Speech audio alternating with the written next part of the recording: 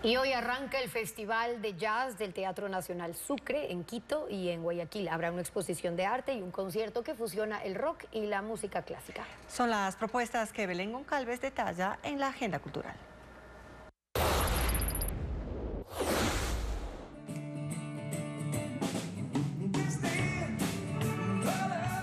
La Orquesta Sinfónica Juvenil de Guayaquil y la agrupación de rock David Rodríguez Band se unen para presentar el concierto Queen Sinfónico.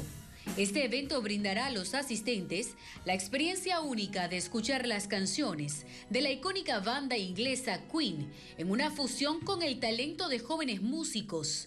Esta tarde a las 18 horas 30 en el auditorio del Centro Ecuatoriano Norteamericano. La entrada es gratuita.